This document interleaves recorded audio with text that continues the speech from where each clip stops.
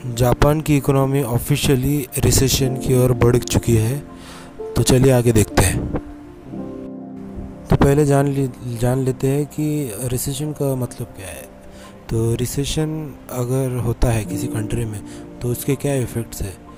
तो जैसे अभी हम देखें कि जापान जापान एक रिसेशन की ओर बढ़ रहा है। मतलब क्या है कि जी, उनकी जो जीडीपी है, वो कंटिन्यूसली स्लिप हो रही है। मीन्स कोई आ, एक साल में चार क्वार्टर होते हैं। तो अगर चारों क्वार्टर में से कंटिन्यूसली वो दो क्वार्टर में उनकी जीडीपी डिक्रीज़ होती है या फिर स्लिप होती है तो उनकी जीडीपी बहुत लो हो जाती है तो उसे एक रिसेशन माना जाता है। 2020 के पहले तीन महीने में ही जापान की जीडीपी लगभग 3.4 प्रतिशत है हो गई है। अगर 2019 की बात करें तो जापान की जीडीपी 6.4 तक ही सीमित रह गई थी। इसका यही मतलब है कि जापान में रिसेशन काफ़ी जल्दी से बढ़ रहा है। एक्सपर्ट के हिसाब से जापान की जो जीडीपी है वो करीब करीब 4.5 प्रतिशत से ड्रॉप होने वाली थी। बट uh, 2020 के फ़र्स्ट क्वार्टर में ही उनकी जीडीपी ऑलमोस्ट 3.4 प्रतिशत ड्रॉप हो गई जो उनके लिए एक बड़ी समस्या की बात है।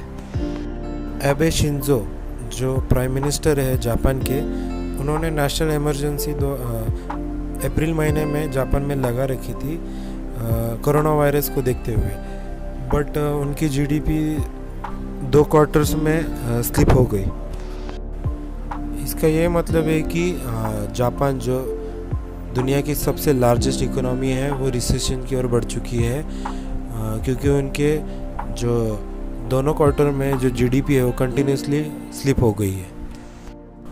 और कुछ कुछ रिपोर्ट्स में ऐसा भी बताया गया है कि जापान की जो जीडीपी है, वो ऑलमोस्ट 21.5 प्रतिशत से स्लिप हो सकती है, जो कि उनके लिए एक बुरी खबर है।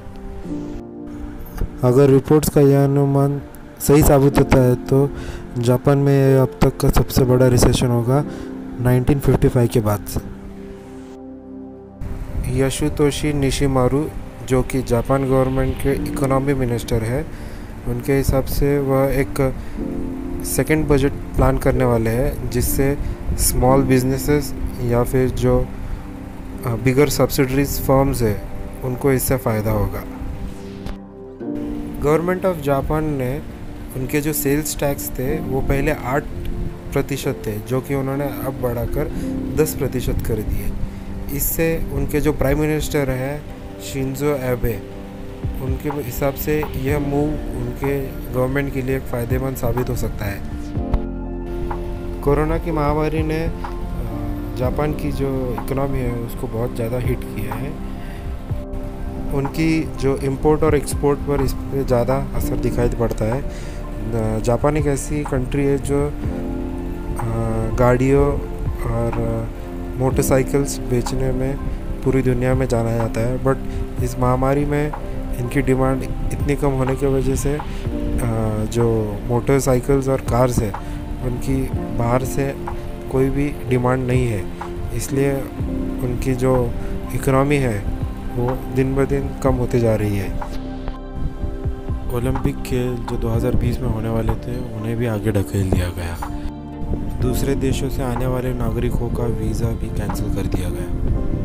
प्राइम मिनिस्टर ने नेशनल इमरजेंसी डिक्लेयर कर दी, जिसकी वजह से जापान को एक सॉफ्ट लॉकडाउन में जाना पड़ा जिससे वो कोरोना वायरस से बच सके। काफ़ी इकोनॉमिस्ट के हिसाब से जब तक लॉकडाउन हटता नहीं है, तब तक जापान कितना भी मन, पैसा इन्वेस्ट करे, तब तक उनकी ग्रोथ बहुत कम दर से होगी। तो यह एक तो जापान के लिए कुछ बुरी खबर हो सकती है बट जैसा जैसे टाइम जाता है और सभी लोग अपना लॉकडाउन पालते हैं तो एक एक ना एक दिन ये कोरोना संकट ख़त्म होगा। तो यही आशा करते हैं। तो वीडियो को देखने के लिए धन्यवाद। लाइक शेयर और